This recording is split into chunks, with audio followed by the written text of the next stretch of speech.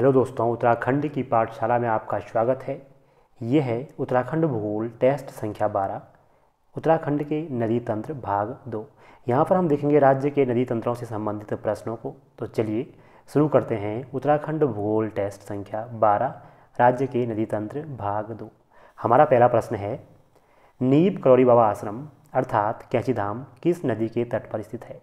नैनीताल ज़िले का प्रसिद्ध आश्रम, नीप कौरी बाबा आश्रम, इन चार नदियों में से किस नदी के तट पर है? ये हमारा प्रश्न है। कोसी, खैरना, जटागंगा या सिपरा। इसका जो सही आंसर है, वो है विकल्प नंबर चार, सिपरा। प्रसिद्ध कैचीधाम आश्रम सिपरा नदी के तट पर है, जो बाबा नीप करौरी का आश्रम है। हनुमान का अवतार माने जाते हैं बाबा नीप करौरी प्रसिद्ध रहस्यमयी संत थे इस क्षेत्र के। तो सिपरा नदी के तट पर इनका प्रसिद्ध आश्रम है नीप करौरी बाबा आश्रम या कैची धाम। अगला हमारा प्रश्न है रामनी गाड़ जेठा गाड़ एवं चुफलिया गाड़ किस नदी के अफवाह तंत्र का हिस्सा है? ये तीन जो सहायक नदियाँ हैं रामनी गाड़ जेठा गाड़ चुफलिया गाड़ इन चार नदियों में से किस एक के अफवाह क्षेत्र में आती हैं?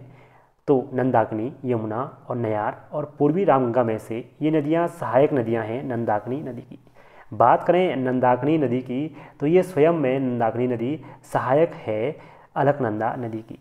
यह नंद प्रयाग में अलक नंदा नदी में आकर मिल जाती है या संगम बनाती है। इसी की ये सब, या ये सभी सहायक नदियाँ हैं जो इसी में आकर मिल जाती हैं। नंदा घूंटी से आने वाली जो ये नदी है नंदाकिनी, इसकी अन्य अगर हम सहायक नदियों की बात करें तो यहाँ पर अन्य नदियाँ हैं भद्रा। भद्रा भी इसकी एक सहायक नदी है। साथ में एक इसी प्रकार की पुनेड़ गार्ड या ऐसे एक गार्ड है, या पुनेठा गार्ड, ऐसी एक गार्ड इसकी अन्य एक सहायक नदी है। यहाँ पर अन्य जो नदियाँ हैं, वो हैं यमुना, नयार और पूर्वी रामगंगा। तो इनके बारे में हम बात कर चुके हैं पहले वीडियो में और फिर बात करेंगे। अगला प्रश्न है, निम्नलिखित में से कौन सी नदी पिंडर की सहायक नदी नहीं है? ये चार नदियाँ हैं, इनमें से एक नदी ऐसी है जो पिंडर की सहायक नदी नहीं है। इसके बारे में हमने बात करनी है। अगर हम देखें तो यहाँ पर कुफनी नदी पिंडर की सहायक नदी है। ये प्रश्न एग्ज़ाम में आ चुका है। मिलम नदी की बात करें तो ये भी पिंडर की सहायक नदी है। ये मिलम की पश्चिमी श्रेणी से आती है और पिंडर में आकर मिल जाती है। अगली नदी है अटागाड़ ये भी सिमली के पास पिंडर नदी में मिल जाती है। कणप्याग के पास सिमली है और वहाँ उसके पास ही ये अटागाड़ दूसरा तोड़ी से निकलकर इसकी सहायक नदी बन जाती है। जो नदी है ऑप्शन नंबर डी में तिनकर खोला ये तिनकर खोला नदी पिंडर की सहायक नदी नहीं है। यह काली की सहायक नदी है, जो नेपाल की ओर से आती है। ये काली नदी की सहायक नदी है और ऊपरी काली घाटी में, पिथौरागढ़ में काली में मिल जाती है और ये नेपाल क्षेत्र से आती है, तिंकर खोला। अगला प्रश्न है, निम्नलिखित में से कौन सा नगर गोला नदी के तट पर स्थित नहीं है? यहाँ चार नगर हैं, इनमें से तीन नगर गोला नदी के तट पर स्थित नगर हैं और एक गोला के तट पर नहीं है। अगर बात करें हम काठ गोदाम की तो काठ गोदाम गोला के तट पर स्थित एक प्रमुख शहर है। बात करें हल्द्वानी की तो हल्द्वानी भी गोला के तट पर स्थित प्रमुख शहर है, और बात करें लाल कुआँ की तो लाल कुआँ भी गोला के तट पर स्थित प्रमुख शहर है। जो रामनगर है, रामनगर गोला के तट पर नहीं है। रामनगर शहर है कोसी नदी के तट पर। तो रामनगर कोसी के तट पर है, ये आपको याद रखना है। बाकी काठ गोदाम हल्द्वानी, लाल कुआँ या अन्य शहरों की बात करें तो रानी बाग, ये भी गोला के तट पर स्थित एक शहर है, और इसी के साथ साथ किच्छा भी गोला के तट पर स्थित है। तो ये गोला के तट पर स्थित कुछ प्रमुख शहर हैं। गोला की बात करें तो पहाड़ पानी नैनीताल से निकलने वाली यह नदी किच्छा के पास राज्य से बाहर निकल जाती है और कालसा गार्ड या बालिया गार्ड इसकी प्रमुख सहायक नदियाँ हैं। इसकी एक सहायक नदी है बालिया। ये बालिया जो सहायक नदी है गोला की, ये नैनीताल झील के जल को गोला में लाती है। अगला प्रश्न है, जागेश्वर धाम किस नदी के तट पर स्थित है? प्रसिद्ध जागेश्वर धाम, उत्तराखंड का सबसे बड़ा मंदिर समूह 124 मंदिरों का ये समूह है। इन चार नदियों में से किस नदी के तट पर स्थित है? तो हम बात करें जागेश्वर धाम की। तो जागेश्वर धाम के पास जो प्रसिद्ध नदी बहती है छोटी सी नदी बहती है, वो है जटागंगा नदी। जटागंगा के तट पर स्थित है जागेश्वर धाम।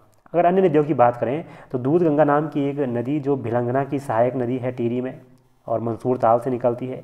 जबकि गरुड़ गंगा नामक एक नदी है जो अलकनंदा की सहायक नदी है और चमोली में अलकनंदा में मिल जाती है, चमोली से पूर्व ही। सुयाल की बात करें तो सुयाल एक प्रमुख नदी है कुमाऊँ की, जो कोसी की सहायक नदी है और सुयाल और कोसी के बीच बसा है अल्मोड़ा शहर कासाए पर्वत पर।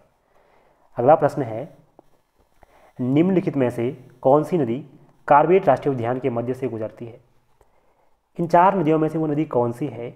जो कार्बेट राष्ट्रीय उद्यान के मध्य से गुजरती है, नंदौर, पूर्वी धौली गंगा पश्चिमी रामगंगा या टोंस।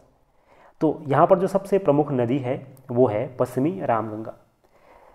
कार्बेट राष्ट्रीय पार्क को आज़ादी के बाद उन्नीस सौ सैंतालीस में जो नाम दिया गया था, वो दिया गया था रामगंगा नेशनल पार्क। और ये रामगंगा जो नेशनल पार्क का नाम पड़ा था, इसका कारण यही था कि इसके मध्य से एक नदी गुजरती है, रामगंगा नदी। और यहीं पर पाटली दून भी स्थित है। तो इस नदी के चारों ओर बसा है कॉर्बेट राष्ट्रीय उद्यान। या इसे यहाँ पर स्थापित किया गया है।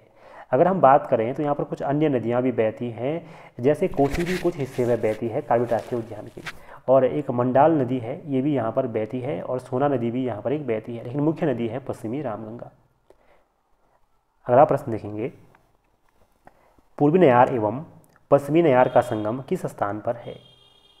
प्रसिद्ध नदियाँ हैं, दोनों की दोनों और दूधा तोड़ी श्रेणी से दोनों की दोनों नदियाँ निकलती हैं। तो दूधा तोड़ी से निकलने वाली ये दोनों नदियाँ, पूर्वी नयार और पश्चिमी नयार, कहाँ पर संगम बनाती हैं? तो इसका सही आंसर है विकल्प संख्या डी, सतपुड़ी। सतपुड़ी में इन दोनों नदियों का संगम है और सतपुड़ी संगम को ही वैन तेयक तीर्थ कहा जाता है। इस संगम को नाम दिया गया है वैन तेयक तीर्थ। वैन तेयक तीर्थ नयार के संगम को ही कहा जाता है।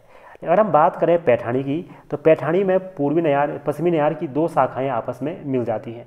पश्चिमी नयार दो शाखाओं से मिलकर आती है और दो जो शाखाएँ पश्चिमी नयार की हैं, वो मिलती हैं पैठानी में। पैठानी में राहु का एकमात्र मंदिर भी है, ये आपने सुना होगा। तो ये है पूर्वी नयार से संबंधित प्रमुख फैक्ट। बात करें बिनसर की तो बिनसर नाम का एक मंदिर या विनेश्वर स्वामी अल्मोड़ा में भी है और बिनसर मंदिर आपका एक मिलता है आपको पौड़ी में। ठीक, और पावो एक प्रमुख स्थल है, पौड़ी का एक प्रमुख स्थान या प्रमुख बाज़ार है पौड़ी का पावो तो ये थे प्रमुख फैक्ट नयार से संबंधित। आगे हम देखेंगे, निम्नलिखित में से कौन सी नदी नामिक एवं पॉन्टिंग ग्लेशियर से जल प्राप्त करती है? इन नदियों में से कौन सी वह नदी है जो नामिक और पॉन्टिंग ग्लेशियर से जल प्राप्त करती है? सरयू, गौरीगंगा, पूर्वी रामगंगा और मतकानी इन नदियों की बात करें तो यहाँ पर प्रमुख नदी जो जल प्राप्त करती है नामिक और पॉन्टिंग से, वो है इन सभी नदियों में से पूर्वी रामगंगा। पूर्वी रामगंगा की बात करें तो यह सरयू नदी की सहायक नदी है और अपना संपूर्ण जल रामेश्वर में सरयू को सौंप देती है। पूर्वी रामगंगा नदी नामिक पॉन्टिंग या एक अन्य ग्लेशियरी नाम यहाँ पर है मानिक। यहाँ से जल प्राप्त करती है और इसकी कुछ सहायक नदियाँ भी हैं। इसकी सहायक नदियों की बात करें तो यहाँ पर काला पानी गाड बिरल गाड भुजपत्री घाट, गरगतिया, ये सभी इस सहायक नदियाँ हैं पूर्वी रामगंगा की। गौरी गंगा की बात करें, यहाँ पर ऑप्शन नंबर बी की तो ये काली की प्रमुख सहायक नदी है। अब जौलजीव में काली में मिल जाती है। मतकानी की बात करें तो मतकानी नदी भी गौरी गंगा, ये गौरी गंगा की सहायक नदी है और ये मतकानी निकल कर आती है पंचाचुड़ी हिमानी से। अगला प्रश्न देखें तो वो है हनुमान हनुमानगढ़ एवं रिखनाड़ किसकी सहायक नदियाँ हैं? प्रमुख नदियाँ हैं दो हनुमानगाड़ एवं रिखनाड़। एक हनुमान चट्टी में एक नदी में मिल जाती है और दूसरी यहीं आगे जाकर एक स्थान पर उस अपने संबंधित नदी में मिल जाती है, लाखामंडल नामक स्थल पर। तो ये नदी कौन हो सकती है? ये है विकल्प बी, यमुना। ये यमुना की सहायक नदियाँ हैं। बहुत सारी यमुना की सहायक नदियाँ हैं, जैसे ऋषि गंगा मुगरा गाड कृष्णा गाड कमल गाड आपने नाम सुना होगा बर्नी गाड भद्री गाड अलगाड अमलावा हम बहुत सारी नदियों की बात करते हैं तो ये सभी नदियाँ यमुना की सहायक नदियाँ हैं, ठीक? तमसा की बात करें तो तमसा कालसी में यमुना में मिलती हैं, टॉस तमसा का एक नाम है। मंदाकिनी की बात करें तो ये अलकनंदा की सहायक नदी है, रुद्रप्रयाग नगर में, शहर में अलकनंदा के साथ संगम बनाती है। काली की बात करें तो राज्य की सबसे लंबी नदी है। अगला प्रश्न है, लंका नामक स्थल किस नदी के तट पर स्थित है? बात करें लंका नामक स्थल की तो यह स्थल भैरव घाटी के पास स्थित है और भागीरथी नदी के तट पर स्थित है। लंका एक प्रमुख स्थल है जो ऐतिहासिक महत्व का भी है और यहीं पर हिम तेंदुआ संरक्षण केंद्र भी गंगोत्री राष्ट्रीय उद्यान के अंतर्गत बन रहा है। अगला प्रश्न है, किस नदी को नारद गंगा, नाद गंगा एवं कुश जीर्णा कहा गया है? कौन सी वह नदी है जिसके लिए इतने नामों का प्रयोग किया गया है? तो वह नदी है हमारी नयार। नयार जो पश्चिमी नयार एवं पूर्वी नयार से मिलकर सतपुड़ी में बनती है, उसी को नारद गंगा, नाद गंगा, कुश जीर्णा भी कहा गया है। इसे इंद्रावती भी कहा गया है पुराणों में, इसे इंद्रावती भी पुराणों में कहा गया है। ठीक? अगला प्रश्न है, निम्नलिखित में से किस नदी की घाटी में गोविंद राष्ट्रीय उद्यान स्थित है? राज्य का प्रसिद्ध राष्ट्रीय उद्यान है गोविंद राष्ट्रीय उद्यान। इसे गोविंद राष्ट्रीय उद्यान एवं वन्य जीव अभ्यारण्य भी कहा जाता है संयुक्त रूप से। और यह स्थित है राज्य की प्रसिद्ध टोंस नदी की सहायक नदी सुपिन की घाटी में। सुपिन जो स्वर्गारोहणी ग्लेशियर से निकलती है, यह नदी स्वर्गारोहणी से स्वर्गारोहणी ग्लेशियर से निकलती है और उत्तराखंड के सबसे पश्चिमी भाग में स्थित है स्वर्गारोहणी ग्लेशियर। और यहाँ से आती है सुपिन नदी और हरकीदून क्षेत्र में बहते हुए ये आगे बढ़ती है और नेटवाल नामक स्थान पर सुपिन में मिल जाती है और तब जाकर निर्माण होता है टोंस का। तो टोंस का निर्माण से पूर्व नेटवाड़ के अंदर सुपिन की घाटी में स्थित है गोविंद राष्ट्रीय उद्यान। पबर भी एक सहायक नदी है टोंस की जो त्यूनी नामक स्थान पर टोंस में मिल जाती है। अगला प्रश्न है गर्जिया देवी किस नदी के तट पर स्थित है? प्रसिद्ध धाम है माता का मंदिर है गर्जिया देवी। ये किस नदी के तट पर स्थित है? ये हमारा प्रश्न है। इन चार ऑप्शन में देखें तो गर्जिया देवी स्थित है हमारे आ, कोसी नदी के तट पर। यह यह स्थल है कोसी नदी के तट पर। कोसी नदी के तट पर जो अन्य स्थलों की हम बात करें तो यहाँ पर स्थित हैं अल्मोड़ा का प्रसिद्ध क्षेत्र सोमेश्वर। यहीं पर हमारा है नैनीताल में खैरना, जहाँ पर खैरना गदेरा इसमें आकर मिलता है। इसके बाद रामनगर, सबसे प्रसिद्ध क्षेत्र जो कोसी के तट पर है, और गर्जिया देवी। ये सब कोसी के तट पर स्थित प्रमुख शहर हैं। अगला प्रश्न देखें। तो शक्ति नहर किस नदी पर निर्मित है, या किस नदी पर एक प्रसिद्ध नहर निकाली गई है, शक्ति नहर? तो यमुना नदी पर शक्ति नहर निकाली गई है। स्थल है डाक पत्थर बैराज। विकासनगर के पास है डाक पत्थर और यहीं से ये शक्ति नहर यमुना पर निकाली गई है। ठीक? अगला प्रश्न है, कौन सी नदी पंचाचुड़ी पर्वत से निकलती है? इस बारे में हमने बात की है। पंचाचुड़ी पर्वत से निकलने वाली जो प्रमुख नदी है, वो इन चार नदियों में से है मतकानी मतकानी नदी पंचाचुड़ी शिखर से निकलती है और यह गोरी गंगा की सहायक नदी है। गोरी गंगा में अपना जल गिरा देती है। मुंशियारी जो क्षेत्र है, वो इसी के आसपास स्थित है, जौहार घाटी इसी के आसपास स्थित है। बात करें हम जिम्भा गदेरा की तो जिम्भा गदेरा आपको प्रमुख सहायक नदी मिलेगी आपको गौरी गंगा की, ठीक? और पनार की बात करें तो पनार सरयू की प्रमुख सहायक नदी है। पनार नदी की बात करें तो सरयू की प्रमुख सहायक नदी है। अगला प्रश्न है, लंगूरगाड एवं सिलगाड का संगम किस स्थल पर है? ये दो नदियाँ हैं लंगूर लंगूरगाड एवं सिलगाड। इन दोनों के संगम की बात करें तो इन दोनों का संगम पौड़ी में दुगड्डा नामक स्थल पर है। दुगड्डा में है इन दोनों का संगम। अगला प्रश्न है, प्रसिद्ध व्यास घाटी एवं व्यास आश्रम किस नदी के तट पर स्थित है? व्यास गुफा की बात नहीं हो रही है, व्यास घाटी की बात हो रही है। और व्यास घाटी की बात करें तो यह पिथौरागढ़ ज़िले में स्थित है और यहीं पर व्यास आश्रम भी है, बहुत प्रसिद्ध। तो यह स्थित है काली नदी के तट पर। काली नदी की घाटी है, यह घाटी जो पिथौरागढ़ में स्थित है। और अगर हम बात करें कुटी यांगटी की तो कुटी यांगटी काली की प्रमुख सहायक नदी है कुटी यांगटी जो गुंजी के पास काली में मिल जाती है। लिस्सर की बात करें तो ये लिस्सर गौरी गंगा की प्रमुख सहायक नदी है। जब दारमा में लिस्सर मिलती है तो तभी वह गौरी गंगा बनती है। अगला प्रश्न है, कत्यूर घाटी किस नदी की घाटी में बसी है? प्रसिद्ध कत्यूर घाटी जिला बागेश्वर में स्थित है। इस घाटी की बात करें, इन चार नदियों में से तो यह घाटी स्थित है गोमती नदी के तट पर। यहाँ पर प्रमुख बैजनाथ मंदिर भी स्थित है और आगे जाकर यह बागेश्वर में सरयू में मिल जाती है, सरयू की प्रमुख सहायक नदी बन जाती है गोमती। तो कत्यूर घाटी गोमती के तट पर है। अगला प्रश्न है,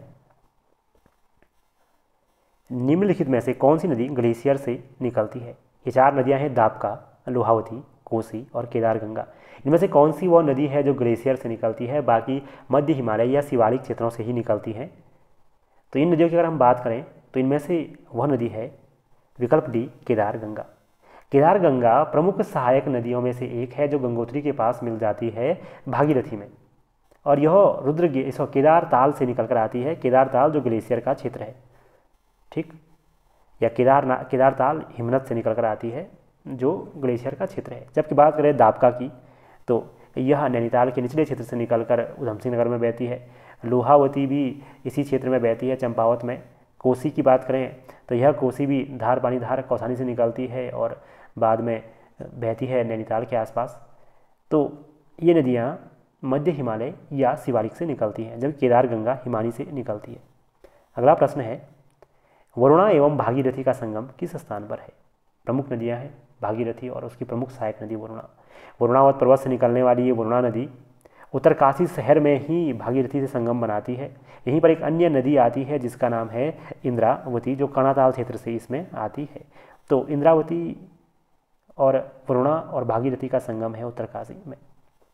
अगला प्रश्न है, किस नदी की घाटी को गेवाड़ घाटी भी कहा जाता है?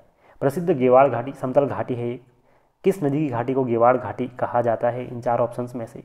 तो इसका सही आंसर जो है, वो है पश्चिमी रामगंगा।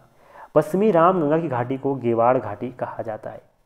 ये पश्चिमी रामगंगा नदी की हम बात करें तो दूधातुली श्रेणी से निकलती है, अल्मोड़ा, पौड़ी में बहते हुए राज्य से बाहर चली जाती है। तो ये पश्चिमी रामगंगा नदी के तट पर ही कई सारे स्थल हैं, जैसे चौखुटिया, और यहीं पर है, चौखुटिया को ही गेवाड़ घाटी कहा जाता है। ठीक? अन्य यहाँ पर मासी, भिकिया सेण सब इसी के तट पर स्थित हैं। अगला प्रश्न है, पुरोला किस नदी के तट पर स्थित है?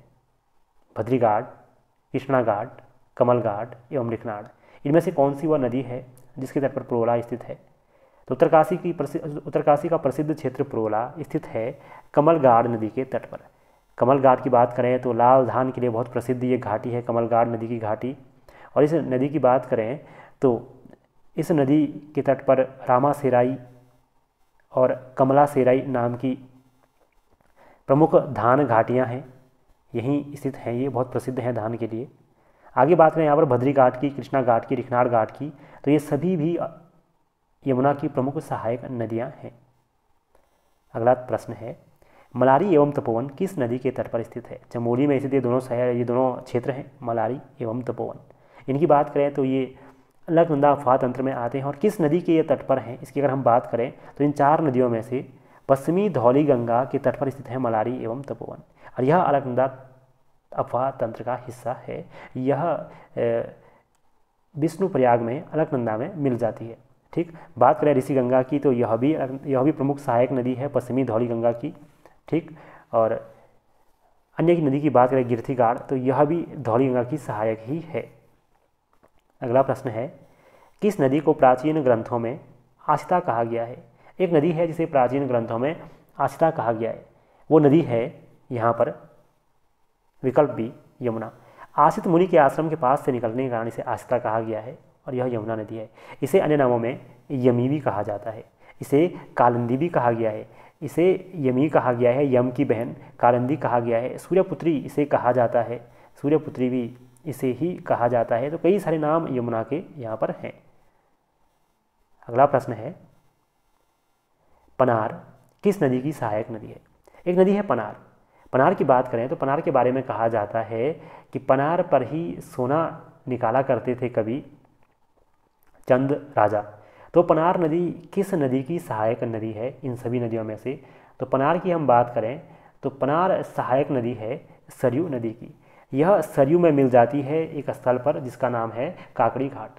दो काकड़ी घाट हैं। एक वो है जिस पर स्वामी विवेकानंद को ज्ञान की प्राप्ति मानी जाती है। ये दूसरा काकड़ी घाट है, जो सरयू और पनार के तट पर स्थित है। तो ये थे हमारे आज के कुछ प्रश्न। धन्यवाद।